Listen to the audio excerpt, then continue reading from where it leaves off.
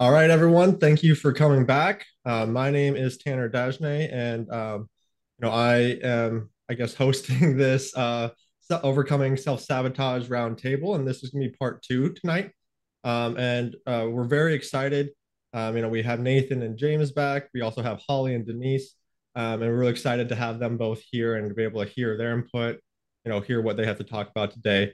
Um, so thank you guys so much for joining. You know, I am a self-sabotage my coach coach myself, um, and just super excited to be here. Um, so yeah, who who wants to introduce themselves next? I'm Nathan Francis. Oh, go ahead. Go I'm, ahead. I'm Nathan Francis. Um, I'm 28 years old. I'm from a little town, a regional town, two hours north of Melbourne. Um, yeah. Um, that's that's that's that's me. So. All right, let's just go, Bryce. I'll, I'll call him out. yeah, for sure. Uh, I'm Bryce Cluett, uh, living in Canada right now, uh, self sabotage coach, um, founder of the Man on Fire program that you know helps men transform into living with more purpose, removing distractions, and removing their self sabotage behavior, um, and sort of living life and being a leader in, in all categories of their life. And I'm happy to be here. Thanks for having me. Happy to have you, uh, Holly. Hi, I am Holly Jean Mullen, and I am a nutritional therapy practitioner, and I have a holistic wellness practice here in uh, Tulsa, Oklahoma. I'm also a certified self sabotage coach, which goes hand in hand with people trying to change their diet and nutrition. And I'm also a podcast host on Real Health Conversations.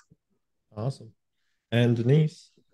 Hey guys, my name is Denise Walsh. I'm a former clinical psychologist turned life and business coach and have a program called 90 Day U Turn where I help people overcome self sabotage and expect success as their normal, uh, experience success as their new normal. And I, this last year, started a nonprofit organization called Stop Suffering in Silence, where I work with trauma and trafficking survivors and truly give them the same program, but in a different, you know, with a with a smaller more intimate cohort and it's been so powerful to see the transformations within them. So i'm excited about this topic today. Awesome. So excited to hear about it. Um i think uh, holly was gonna we're gonna jump into holly's topic first. Um so holly you want to start and we'll, we'll go into it? Uh, sure. So tonight I'm going to be talking about nutrition and how self sabotage works um, in that whole arena of diet and nutrition. But I think what I have found, it's hard to talk to someone about nutrition if they don't also understand where you have come from because it's easy to be like the no do as i say not as i do i know better. So i think it's important for listeners to understand kind of like my own back journey and it really is just that a nutritional journey. I feel like we are all in a relationship with food and it's probably one of the most intimate relationships that we have because um, our food relationships, uh, also like it is with humans, can be really great and happy, or could also be dysfunctional and messy and abusive. And my weight has fluctuated my entire life. I was a fat kid, but then I was also an athlete. I have a history of yo yo weight gains and losses. I've tried every fad diet embarrassingly, I used to say one of my hobbies was fad dieting. Um, I spent my 20s and 30s abusing my body with alcohol. I completely fell victim to the wine mom agenda and um, kind of settled my nutrition philosophy to be in the spectrum of balance. Um, but balanced eating never really felt balanced to me. It was always more like restrictive eating most of the time and then binge eating some of the time and thinking that that would balance itself out. But balance just led me back to that seesaw of going up and down in my weight. And for a lot of people listening i know you may know this pattern well like i did and you understand that shame and the guilt and all that negative self-talk that comes with this balanced lifestyle. Um, and it wasn't until I started studying the subconscious mind that I learned about the root causes of overeating and binge eating, emotional eating, weight gain, body image.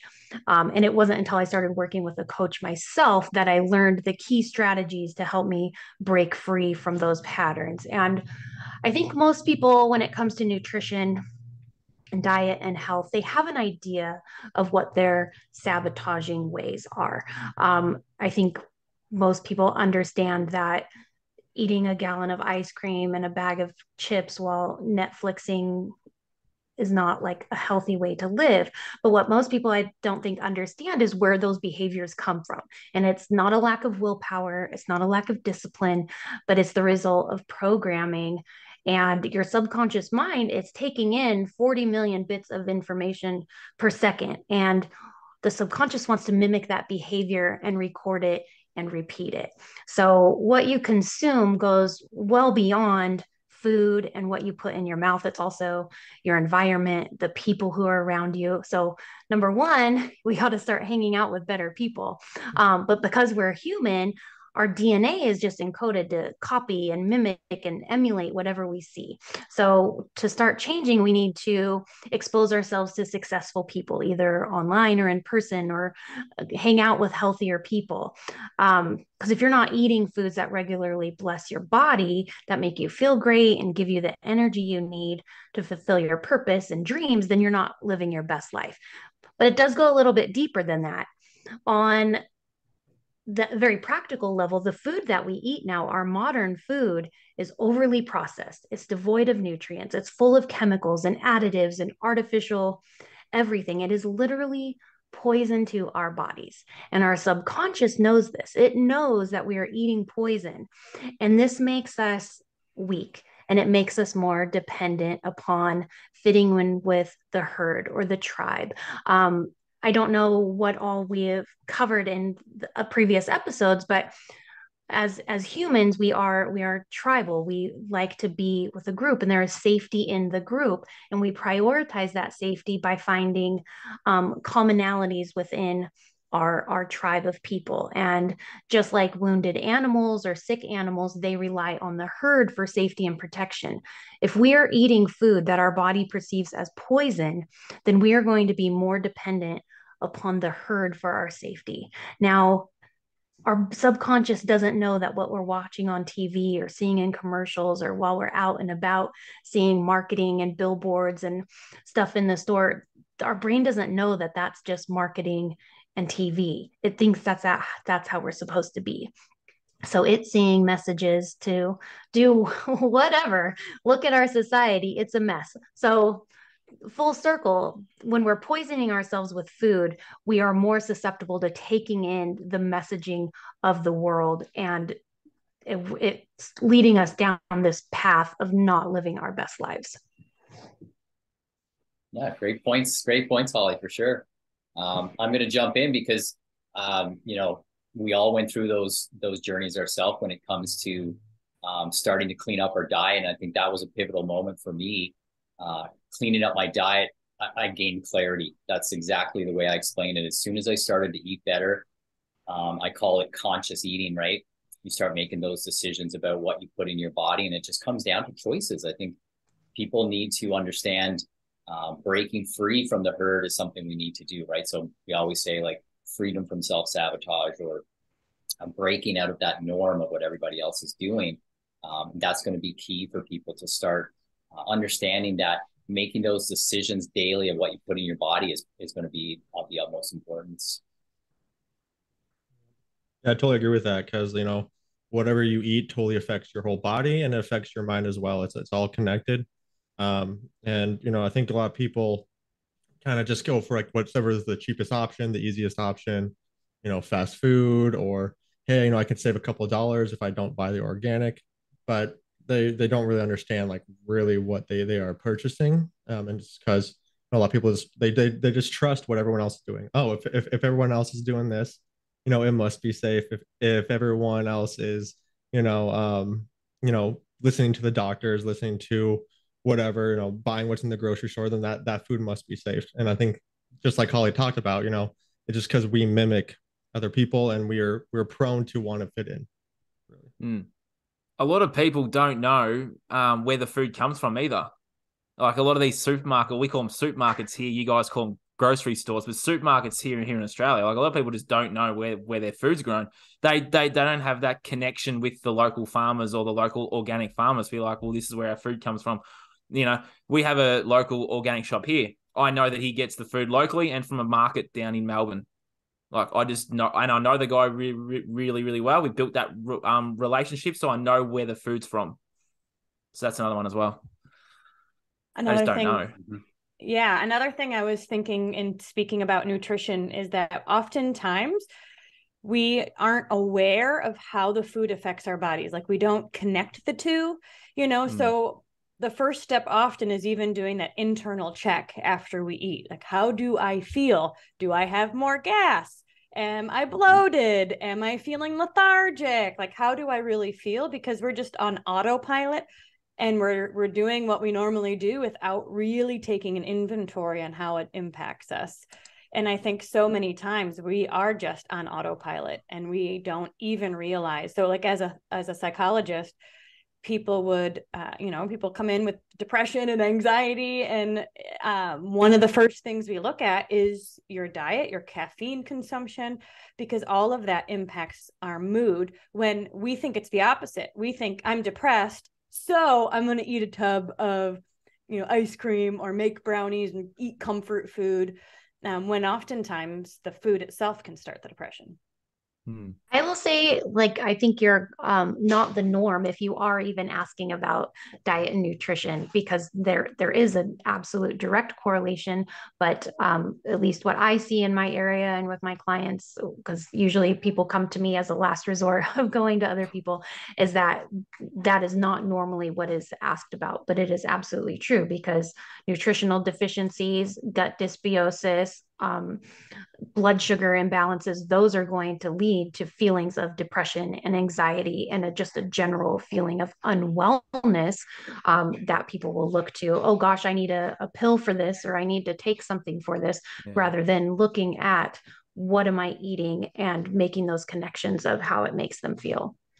Right. Even kids, you know, in my psych degree, we weren't taught nutrition. It's just not even, it's not even a thought but when mm. you start working with people, you're like, wait a minute, you're eating all sugar. This is not good yeah. for you. And now you're having behavior problems, you know? So there's certainly links to how what we eat and how it impacts our behavior. Yeah, well, I think. Oh, go, go, you go ahead. I was just going to say, I think some of it comes back to, um, you know, in my sort of when I'm helping my clients is leadership, right? Is taking onus on what you're putting in your body, like like we mentioned, how does it make you feel, right? Um, this sort of, you know, we have this victim mentality of like, I'm just gonna, I feel bad, I'm gonna eat, and then I'm gonna go to uh, go to the doctor for a quick fix. You know, the doctor is what helps me with nutrition, when that's never been conveyed, right? Um, so I always come back to leadership and being like, you know what, you're in charge of what you put in your body, and you should be looking at that down to the you know, the level of when we used to go to the grocery store and like read the back labels, right? I'd be standing there. I remember when I first started doing it and just reading all the stuff and then putting it back, you know, and then going again. And and now it's like I know exactly. I go in there, it takes me five seconds to go get what I need and come out, right? Hmm. So I think leadership is a big part, getting people to switch out of um, like feeling like someone else is going to take care of you or outsourcing your authority to somebody else. Yeah. So we need people to get fired up and get I'm in charge of my health and and I can, you know, put stuff in my body that's going to fuel it or I'm going to put stuff in it that's going to make me feel sluggish and, and not good, right? Yeah. yeah, I, I can, back. Oh, yeah, I, I completely agree with that because, you know, like the way the system's designed right now, it's really just, you know, we we have to take care of our own health because otherwise we will be in a spot where our health won't be good because you know everything is set up where the you know food is just toxic you know the, the drinks the water um, you know, the media, everything is really set up in a way to disempower us. Um, and you know, as unfortunate as that is, you know, the medical system isn't really there to make us healthier because it's just there to, you know, provide, um, you know, uh, solutions or you know problems to our um, symptoms really, and it doesn't really address the root cause of the problem. Um, and so I totally agree with Bryce, where we we we need to be that person who's taking you know our own health in our own hands because you know ignorance is not bliss because you know what you don't know can actually hurt you. And that's it's a perfect example right now. We have the most technology we've ever had. We have the most information we've ever had. We have the most ability to keep our food cold and you know be able to get food from across the world that we've never been able to do. But yet we have the most unhealthy population yet. You know what's going on? It's because people aren't taking care of their own health. They're just taking word for you know they're just following what everyone else is doing and it's unfortunately it's leading us all down a path that we can recover from but we need to take action to, to do so yeah, I like to say that we are on a high fact diet because there's facts and information everywhere. There's no shortage of information, but there's conflicting information, there's confusing information. And even if you're finding the right information, you still have to take that and have action. Information is not power, action is power. Hmm. Good point. I'm also Yeah, like- reminded of the people that say, "Oh, it's just in my genes." And Bryce, you mentioned No. taking your power back, right? And I think that's a piece of it. Like, oh, this is just the way I am. This is the way my family is, and this is the way we do things here, and that kind of stuff. And you think that's again just another example of putting it on someone or something else, and not really taking that ownership. Yeah. We yeah. have all the knowledge and all the power inside of us. Yeah. And once we start to clean up our diet, we can start intuitively eating. Like our body will tell us what it actually needs. Yes. Because mine tells We're the only time. species that wonders, what should I eat? yeah, yeah, it's true. What do I feel like eating? But I love that. Yeah, like we've gone through those times of, you know, fat is bad, meat is bad, you know, all those different times. And if you start to to understand, like somebody else is telling you what to do, somebody else is guiding you to like go get the chips and eat the late night snacks, and we'll hear, you know, everything in moderation. We hear those bumper sticker slogans, right? When when you really get down to the subconscious part of it and realize you know, consciously, you need to understand why you're eating. It's to fuel your body, right? We all want fun, we all want pleasure, but when you start to understand that you can find pleasure in feeling strong, you can find pleasure in, um, you know, feeling good about yourself and knowing that you're, you know, maybe you picked uh, cucumbers that were made in your local town, right, rather than the ones that were made in Peru or like that's what I got to when, when I started conscious eating was why do why would I get something that's like halfway across the world and when I can get something that's right next to me? Um, it just sort of snowballed into becoming more clear about um, everything that I was trying to do. My purpose, right, was was to eat healthy and fuel my body. And there's going to be times when, you know, you go out and you have something that maybe isn't the best for you, but getting back to that ownership of being like, I, I'm not going to feel guilty about it right? If you feel guilty about eating something, you're going to shut down your whole sort of digestive system and you're not going to be taking any nutrients from it. Um, so I try to tell people that too, like guilt when you're eating, just get get rid of it, right? Start Yeah. taking ownership for what you're doing. I'm having a I'm having a meal that's not the best for me. I'm going to enjoy it. Then I'm going to move on. Tomorrow's another day, right? Progression, not perfection. That's right. Yeah, I totally agree with that. Um, and I feel like it's important to address like, you know, there's all these fad diets out there, like the vegetarian, the all meat, the, you know, there's so many different ones, right? And I feel like none of these work for every single person.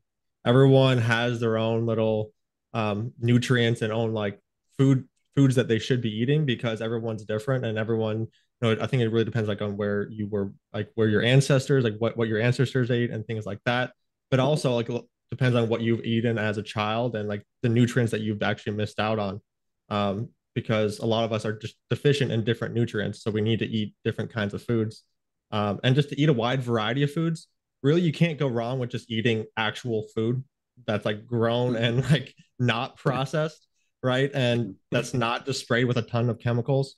That's that's a really good starting point if you're if you're just like confused by everything just make sure the food you're getting is not doused with chemicals that it's it's not processed and it's not been packaged and stored for years and years and you, you'll be you'll be at a very good starting point That's exactly the advice I give to my clients as well. It's like just start with real food. And I don't even push for organic right out the bat. Like if someone's used to eating drive through all the time, I can't expect them to suddenly eat the cleanest diet. So it's like, okay, just start with meat and veggies. Let's start there. And it, well, let's not worry about quality. Like that can come down the line. But if you just need to start somewhere, just start with eating more food that comes from nature and less food that comes from a box. Yeah, that's a great point. Um, and and even teaching people that you know having a plan. I always tell people in, that I'm co- coaching like, um, oh, look puppy. Just to have a plan, you know, to know that okay, I eat, you know, I breakfast because I I just fasted all night. I'm going to get some protein in me or whatever. But the whole like just reaching for stuff in random times or um, you know, I see a lot of it here in Canada. We'll have, you know, raising money for something, raising money for for heart disease, and they're selling hot dogs, right? Or like it's just consciously thinking, right? I just had dinner, but I'm out, and then I see somebody I want to donate to it, so I'm just going to eat a couple hot dogs. Like it doesn't make sense, right? So you got to start thinking and having a plan about what am I doing? Am I trying to build muscle? Am I trying? Um, so just conscious, always trying to use that frontal lobe, right? Hmm. Yeah, and that's I mean that's a, a, good point. Tanner brought up a good point with we all have different needs. Like there is no such thing as a perfect diet. There is no such thing as a perfect diet for all people, and it is just prioritizing what are your goals because there is no shortage of influencers or gurus on the internet telling you what you should be eating, but you don't know where they've come from. You don't know what their goals are, and what they're telling you might not even apply to you at all. It might it might have worked for them. It might work for the people that they're working with, but everything is so bio individual. You really need to filter it through that lens of what's right for me. And again, taking back your power, as Bryce said. And it's like we need to stop looking outside of ourselves for the answers for how we need to live our life and run our lives. But the, the other downside is is you're never going to come to that point if you're continuing to eat foods that are full of chemicals and highly palatable um, flavors that are just going to keep you feeling like crap and addicted to eating those foods. All right. Anyone got any other points on it? Like I had some come to my mind, but it's more of a solution, so I'll save that for that part. well, I've got one point to add. Jason talks about it. Um, it is a form of mind control too, but once you're consciously aware of it, you can make change. And it's a program. It's it's not actually you. And as and during our coaching, we we put out videos of Derren Brown or that Max Major video. You can be reprogrammed in a matter of two minutes two minutes is all it takes. So once you're consciously aware, you can start to make change. Fantastic That's point. Because you know, yeah. there's a reason why um, you know, um, marketing companies and you know, just giant corporations spend billions of dollars on advertisements every year and you know do product placement and things like that because yep. well, they they know it works and you know, the, the more uh, repetitions of something we see in our environment, uh, the more likely we're going to be uh, drawn to it.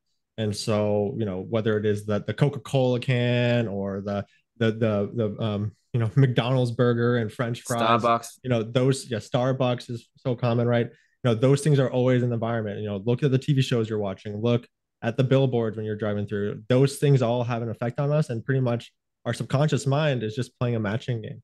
It's saying, "Hey, look, I saw this, I saw this. Look at all those people lined up at this place. Look, everyone has this. Like, oh, our um, superhero, the Flash, is eating some kind of um, burgers and fries. You know, everyone's doing it. We might as well do it. You know, even the people who are super strong and healthy are doing it. Look, LeBron James is drinking a Sprite. They're like, you know, like it, it, yeah. it's all there, right? Um, and so it just like Nathan was talking about, it is creating those programs, and we're just running them, and you know, we're not consciously thinking about it. So you know, getting that conscious awareness, looking into what's you're actually drinking. If you don't know what's in something, usually you shouldn't be uh, consuming it.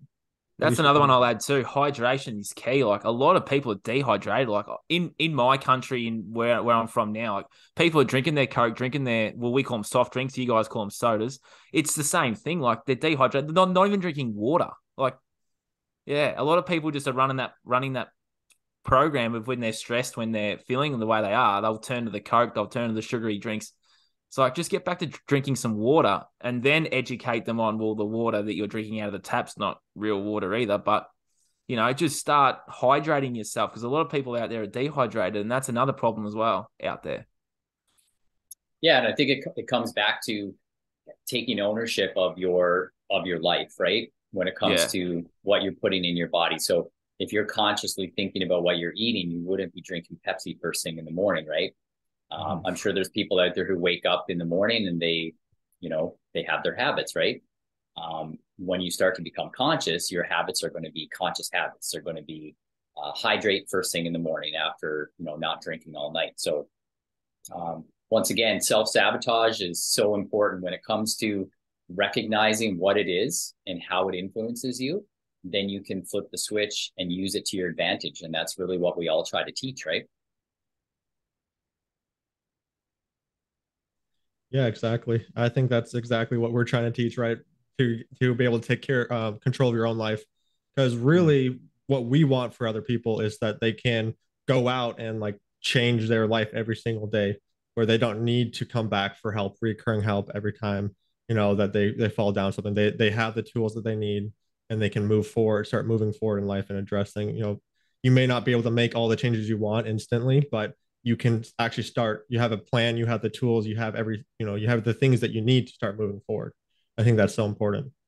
And what can be instant is that decision that you're going to be different and then base every decision that you make off of the person that you want to be. How would the person i want to be do this? And to let go of being that victim and oh well this happened to me in my life we've all been through crap in our life and you can let that be an excuse and a reason to say I can't do it. or you can say, hey, that happened. That's not who I am. And that's not going to carry with me into my future. I can decide right now that that changes.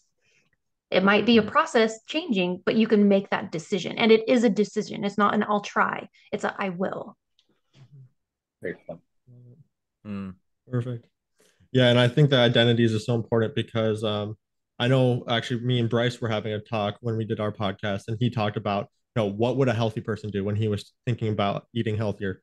Like, what would a healthy person do? If would they would they reach out and grab this this cake right now, or would they go and you know go to the fridge and grab you know some fruits and veggies? Would they go actually get some actual substance through their food? And I think that's so important because the the identities that we assign ourselves and that we see ourselves in is kind of usually locks down our path. Um, it can be another program that we can hold ourselves back without even realizing it. Yeah, like I think that's a great point. When we had that conversation, I mentioned about a, a lady who all she did throughout her whole day was every decision she made around food was what would a healthy person do, and then she made the decision. And then the next time she was presented with hunger or a decision, she said, "What would a healthy person do?" And she just kept doing that and ended up losing like hundred pounds um, just from making those decisions. And so she became the identity of what a healthy person would do. Right. right? Perfect points?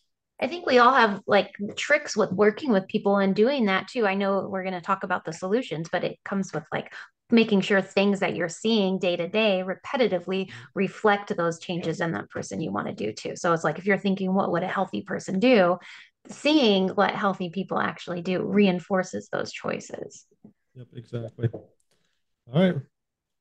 Well, we'll wrap this part up talking about the nutrition, and we'll we'll come back to it for the um the solutions because I think we all have a lot of different solutions we're we're excited to share. Uh, Denise, uh, do you want to um, talk in about what you were here to talk about today? Yeah, so I just wanted to share a bit about how I've been implementing the self sabotage, overcoming self sabotage content with trauma survivors. Now, what I, of course, like I'm specifically talking to what happened in the brain when somebody's experiencing a, a traumatic event. But in reality, I also think most of the world is living in this chronic fight or flight mode all of the time. You know, we're living on this hamster wheel, experiencing chronic stress. We have limited relationships. You know, the people we see at work aren't people we're deep friends with and we don't get to spend you know we're just so although i'm i'm speaking about trauma survivors really i think this is helpful information for anybody. So, when somebody experiences a trauma, a traumatic event, basically their brain freezes and they take a snapshot of everything that's around them, which is why often a survivor may not, like, they might not have a good memory on a day to day basis, but they can remember details of their trauma. And we can all relate to that. I mean, think about where you were when 9 11 happened, or when Princess Diana died, or when these big life events happened. You remember exactly where you were, what was going on, and our brain just like takes a snapshot. But what happens is your, your body also starts to excrete these chemicals and those chemicals are released throughout your body, putting you into the fight flight, freeze, or fawn mode, right? We tense up, our blood goes from our brain to our limbs. We uh, activate the sympathetic ner- nervous system, and now we no longer can think. We just act and we default to whether it's fighting or running or freezing or fawning. Fawning is like people pleasing and trying to ignore the situation and just like try, you know, again, you think domestic violence um, survivors, they are often trying to appease the situation and, and bring it down. And so what happens is that this can be the normal. You know what I mean? Like this ends up being the the way that um, a survivor just it think we think they think life is normal, especially if trauma happened in their first seven years, because then oftentimes those those patterns, the thought patterns, the brain patterns, and the physiological patterns are more hardwired into the body. And we will stay where we are, even if we don't like it, because it's normal. Even if it, we take steps outside of our comfort zone, in a healthy direction, it still feels awkward and weird, and we snap back to what we deem normal. And so, what I do with trauma survivors is help them to recognize that they're living in this chronic, I call it drama, like a state of drama. And once you know the difference between what it feels like to be in drama and what it feels like to be in what I call dream world, you know, like living in the world of dreams versus living in the world of drama. I mean, we could call it calm versus chaos. We could call it panic versus peace. We could call it a lot of different things. But once you understand the difference in how your body feels in those different situations, you can then learn the skills to take yourself, as Bryce has mentioned, taking your power back. Having that radical acceptance, radical honesty, and then taking 100% responsibility to shift your body outside of fight or flight and into rest and digest or rest and repair or um, parasympathetic nervous system activated. And there's a few ways that I teach people to do that. And we can certainly talk more about that in the solutions. Um, but what I think is fascinating for trauma survivors to know is that this is the way the body is designed to work. There's something called the Broca's area in our brain that is, it's um what's the word? It's like it's um it's a part it's in charge that's the word. It's in charge of speech. And when you're experiencing trauma it it doesn't function. And so after a traumatic event if you've ever i mean you can imagine somebody coming home or going to the police station and they're like what happened? What happened? Tell us what happened. Like they they physically can't speak. Like it's not they're not trying to be rude they're, you know there's reasons why our bodies respond to trauma in this way. And flashbacks are a similar thing. When the body starts to relax then their brain can bring up a flashback that they haven't thought of in 20 some years. And so again teaching survivors how the body and brain work and how uh, what fight or flight mode really feels like gives them a space to say okay i'm not crazy. I'm not a i'm not a weirdo. I'm this is how it how i was made to work. My brain is really smart and i do have the tools to change it. And that's the coolest thing is because with epigenetics we can turn genes on and off. We can retrain our brain to create new neural pathways. So we have new automatic thoughts and automatic behaviors. And even just again like you guys have mentioned bringing the darkness to light has given people so much power and room to change. I've had survivors say this is the best year of my life because they finally feel ownership of themselves and like they're not at the whim of the world around them. That's so awesome. I love that. And um, you know if i just want to talk a little bit about that too because i do i do see how people will go through those traumatic events and they that defines who they are right? That's that's what you said like your body goes into it almost like a shock and then you sort of everything around you relates back to that. It's always like well i'm a, i'm i'm this person. This is how i have to deal with everything now right? Yeah. Well and i just want to mention often especially when this we are we are taught that good things happen to good people and bad things happen to bad people. So if a bad thing happens to me, it means I must be bad.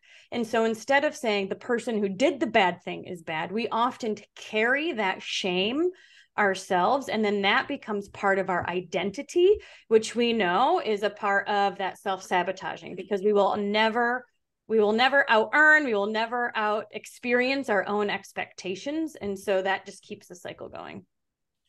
Yep i completely you, oh you go for it. Oh i just had a quick question. Can, can you speak to like so you're working with people with traumas um what about like micro traumas? Like if we're watching a terrifying movie or even just like a horrific Good news report or something i know you mentioned like we know where we were in 9-11 and stuff but what about like if if we're someone who is like listening to those murder podcasts and stuff? So those little micro traumas that we're ex- like self exposing ourselves to does that have the same effect on the brain? Yeah i love this question and i know you guys know the answer but it's exciting to talk about because because the reality is is our brain cannot differentiate between a real imagined or a screened event right? And so it's talking to our reticular activating system. All of anything we see in our environment is is um, our reticular activating system is scanning and saying is this important? Is this uh, is this normal? Is this who i want to be? And and it doesn't know. Your brain doesn't know if this is a movie or if this happened in real life. And so absolutely yes yeah, I feel yeah, like anything. Think, oh, no, go ahead. Your turn. Yeah, I feel like anything highly emotional, right, is going to have a really big impact on our subconscious mind. And I know for me personally, like when I hit like what I call my rock bottom, that was a really emotional point. I think for a lot of people who who have made big changes like that, like the reason why they will make those changes usually pretty quick is partially due to what they know, but partially just to that that that highly emotional experience saying, "Hey, I know this is not right right now. You know, I I I need to make some changes, and that emotion can make some changes. So sometimes those emotional things can be a good kind of thing. Obviously, you don't want to. Everyone, no one has to go through like a rock bottom or traumatic experience, but those things sometimes are needed so we can kind of get our, our kick in the butt and say, hey, we need to start making moves because the, the universe just kind of gave me a swift kick in the butt and I need to start moving forward in life. yeah, 100%. And uh, back to uh, Holly's point, I, I see that maybe sometimes people will be in that cycle of a traumatic event. They they like that that chaos. Maybe they grew up with chaos, and then they they get drawn to the the crime dramas and the you know the Kardashians, like the constant drama in their lives, right? And that's who their identity is. So they identify with it on TV. So we always talk about you know removing distractions, and that's part of it, right? Just a simple thing of removing that distraction not becoming somebody who's drawn to it. And then you know you're somebody now who gets drawn to positive reinforcement right? So um, definitely ties into what we talked about. Well and there's a reason why survivors are re-victimized.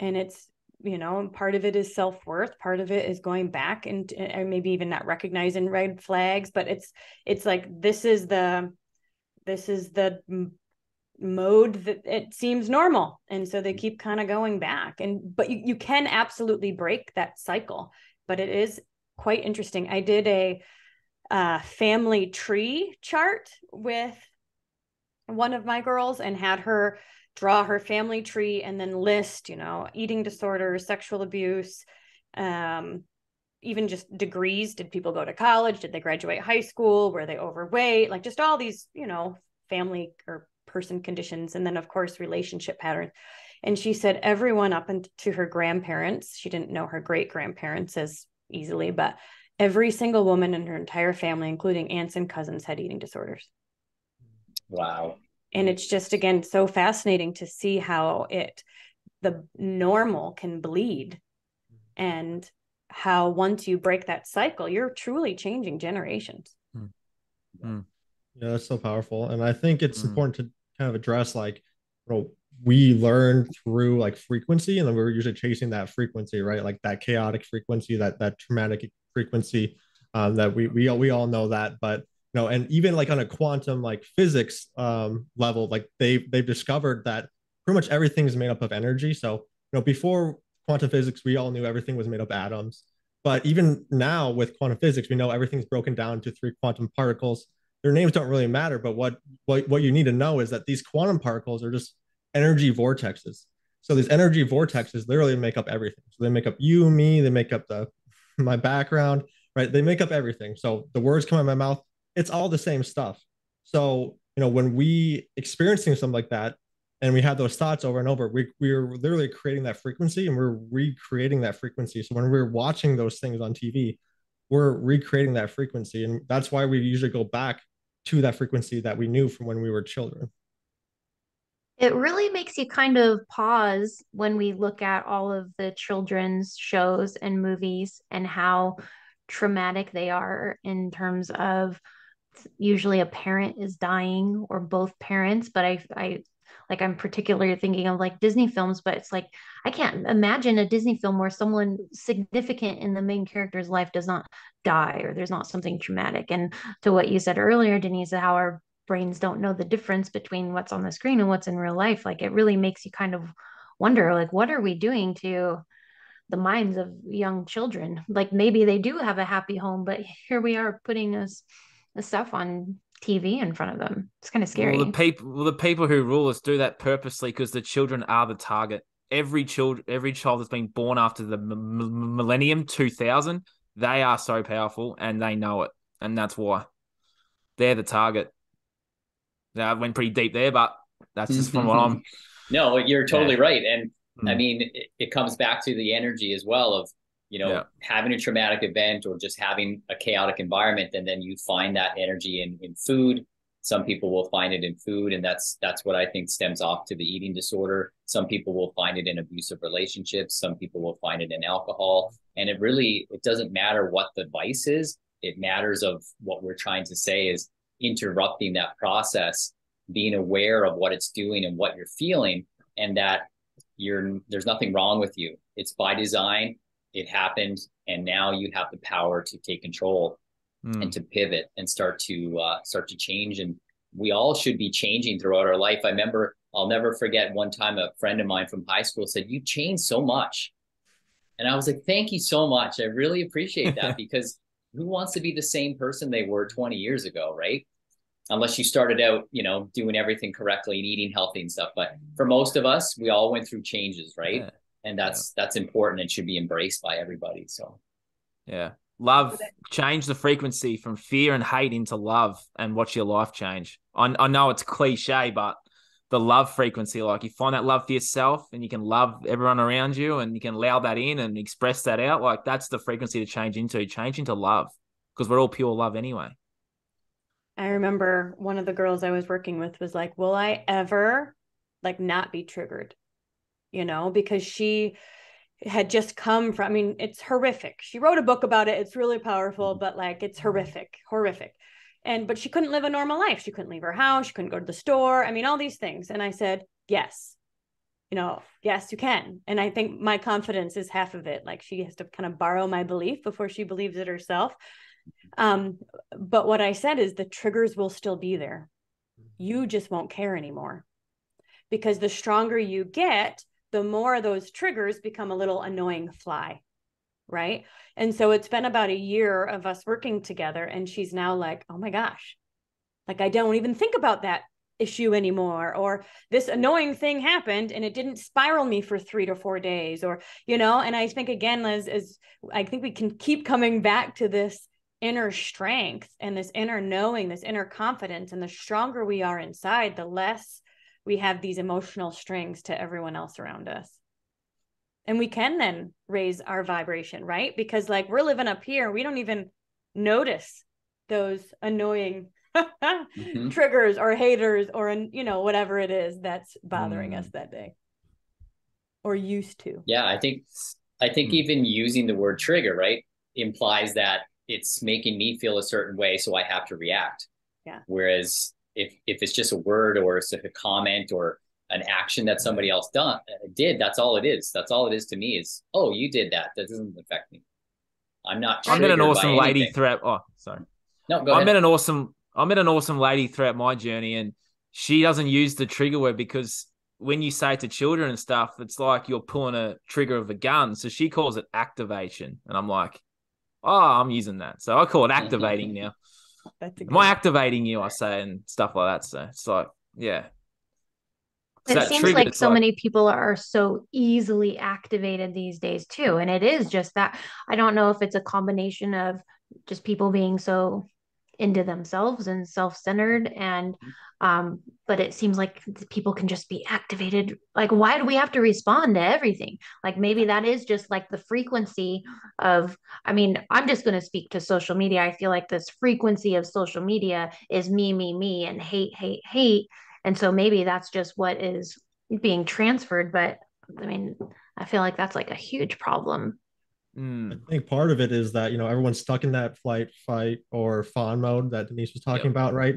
And you know, yep. it's not only trauma that activates it; it could be fear and what you know. You know, the uh, the news media is always activating like a hundred percent fear buffet, as uh, as we've heard before, and you know the the, the lines for coffee and um, you know all those things are just out the roof, and everyone got to have their two coffees in the morning to wake up um, and so people are just constantly in that, um, you know, high cortisol mode where they just, um, you know, don't really, um, you know, they're not really thinking logically because when you're in that mode, just like Denise was talking about, that blood flows out of your brain. And really the only part of that of your brain that's really active at that point is that primal part of your brain that's making those quick, instant, you know, instantaneous thoughts of like, hey, how do I get out of this? How do I save myself?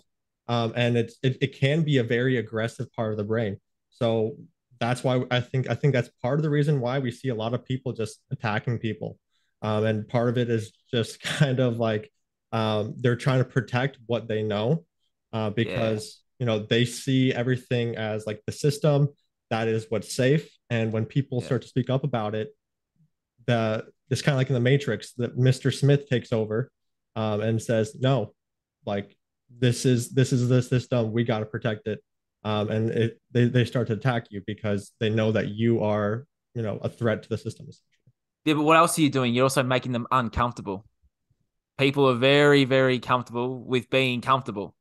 And if someone like us or anyone else speaks up you're interrupting their comfort. And i don't want to be un- uncomfortable because people are so comfortable in their comforts as well. Yes, and that's exactly. what's activating them. You're activating them and making them uncomfortable, and they don't want to be un- uncomfortable. Yeah, that's how I, think, I say it. I think a lot of people too, their beliefs, right? We know the beliefs are tied to your subconscious. So yeah, if you have certain beliefs and you're you're in that subconscious mindset all the time of you know getting your coffee and, and you believe the things that are on the news or the things that you're being told as soon as somebody you know tries to challenge that they want to be relevant so they just go they go right to their belief oh you're challenging my belief so you're wrong and hatred and whatever. So conspiracy theory. Yeah like so i mean i think getting out of the subconscious into the conscious is a good theme um and we know that bad food will activate it or you know toxic uh, toxic load on on your system whether it's from you know drugs alcohol. Uh, i always talk about it with my guys is is removing the distractions right all the the stuff that's distracting you from from being clear having clarity having purpose. Um, that's important for people to understand that you know you need to remove some of those distractions. And and yeah they're put there. They're put there on purpose for us for our men to specifically uh, you know not take action and just sit back and, and watch it on tv be, watch the hero on tv right? Not mm. be the hero in real life. So. spot on. I think that's such an important part point because we we all have a purpose. Like we're all here for a reason. And the most threatening thing is powerful people and people fulfilling their purpose every day. And so, if we can keep them sick and unhealthy with their food, keep them traumatized, keep them distracted, um, that's really the perfect storm for limiting people's potential and so we we know from the line of work that we do that it really is just an attack on people to keep us small. And that is the strategy. Hmm.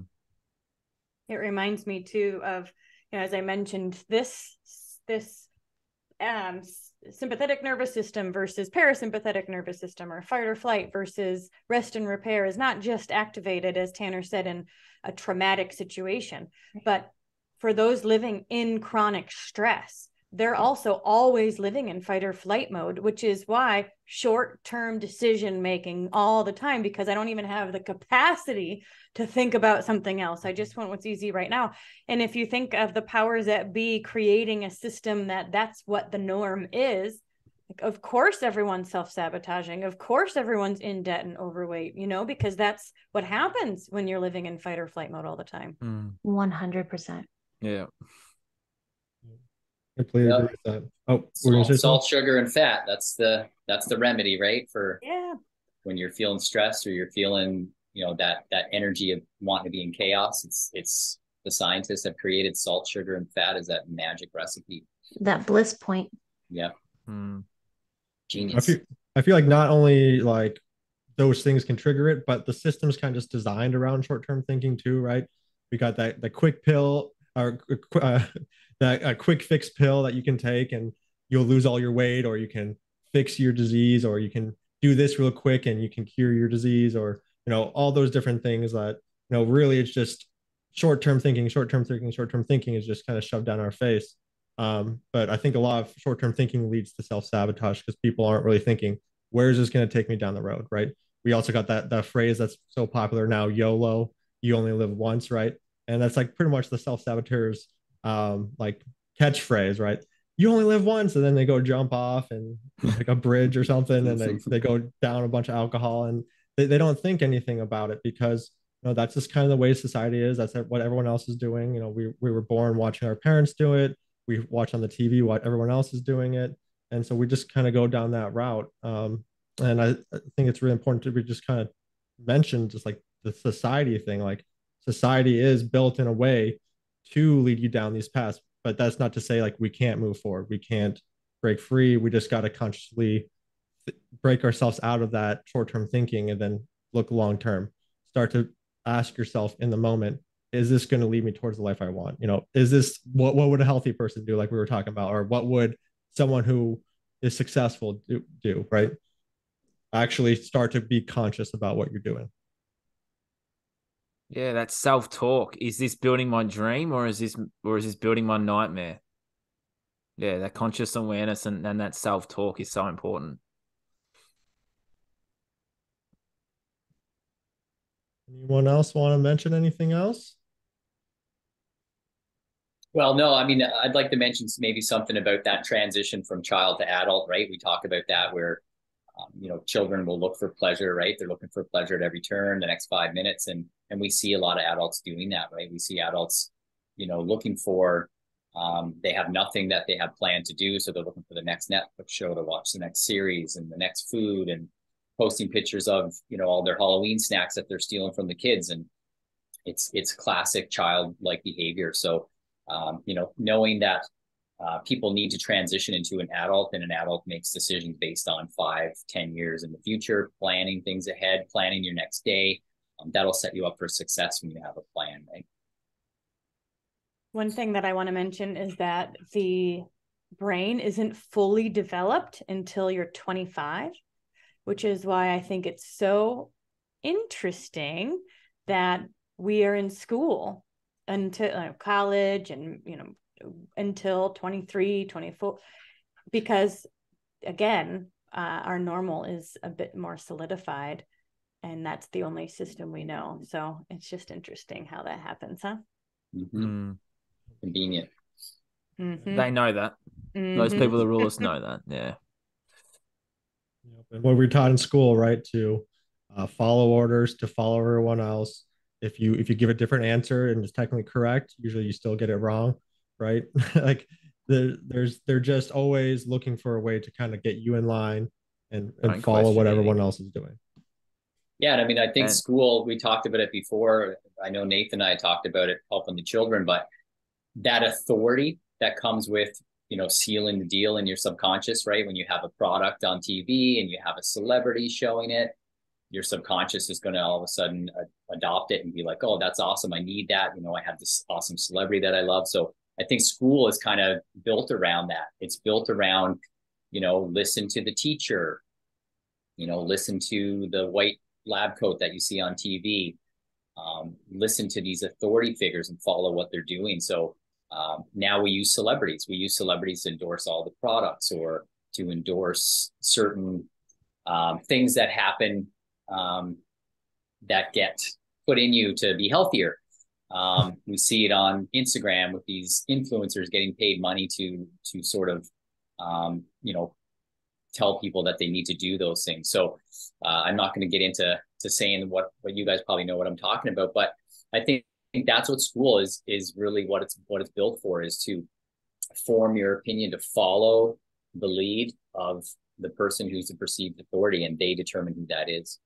It's not yourself. It's, it's stripping children of their power between the ages of what, five to 22, 23. Children come out of these brainwashing centers and they have no power at all. That's the work I'm doing right that. now. I feel yeah, like this could right. be a whole, a whole another one. Yeah. this is this is this is this is like my passion, working with kids and teens, like doing this work with them. So, yeah, because so there's a lot of brainwashing there.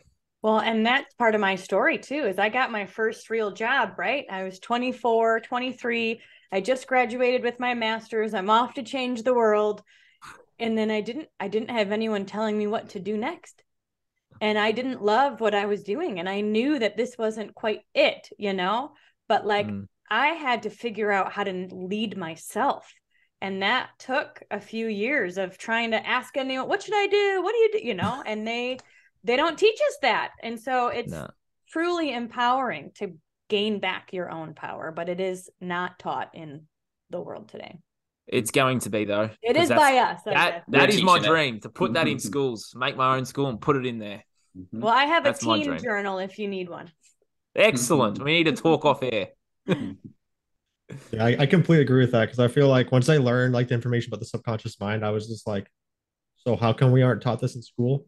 Like, how come we don't learn about like one of the most powerful parts of our minds, the part of our mind that creates programs and we we learn so much from um, when we're going through school, which we're supposed to be, you know, learning and being able to increase our knowledge and things like that. And you know, it's once again just goes back to just it's how the system's designed. Um, it's it's not meant really to empower us. Unfortunately, it's meant to make a bunch of followers and um, to really disempower us and to lead us into a part where we we think we have to have someone else providing us a solution for things. But it, it all comes back to kind of what bryce was saying where it, it all comes in to where we have to take you know point. We have to be the ones to take the actions towards the life that we want. Um, you know no one's going to be there to save us. There can be people there to help us. There's i mean there's so many people i know that have reached out for other people for help and they've been able to you know i did myself and I was able to move so much farther ahead in my life. But really, at the end of the day, they could tell me all the things that I wanted to hear. But if I didn't do anything in my life and take those actions, then I wouldn't be where I am today. So, you know, it, it's a mix of two things. You know, getting help is important, but you got to take the action. You got to be the one who wants that. And you got to be willing to give up the things that are no longer serving you.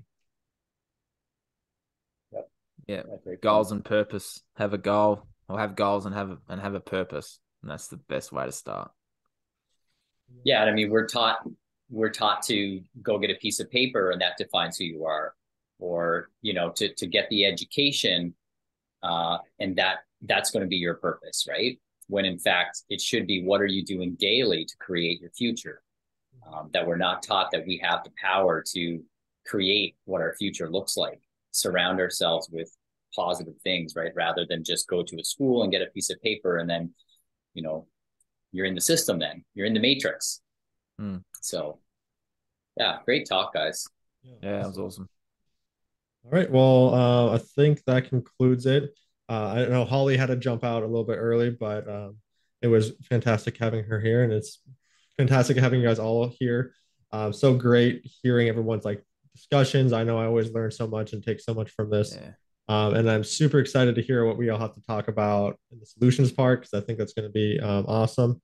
Um, anyone else want to say anything else before we drop off? Yeah, just reach out and ask for help. Oh, I say that all the time, but it's um, reprogramming people that listen to this, I guess, to reach out and ask for help because the world's about to change. We're bringing about the change, and ask for help and you can change too and then that's gonna change you know us changing and you changing can help change the next person. So it's just one person one soul at a time. Yeah agree. The reality and- is is if it were easy we'd already be doing it. Mm-hmm. and yeah. so we have to find people who are three steps ahead of where we are now and go hang out with them. Go well learn from them be around their circles because um, if it were easy you would already have have be doing it. And so clearly you know it's not easy for anyone to make this change. So go find people who are doing what you want to do and be mentored by them. Things and things can make it easier by um, having different techniques and solutions. So we'll be talking more about that on part three. So um, hope you guys all have a good night and thank you for listening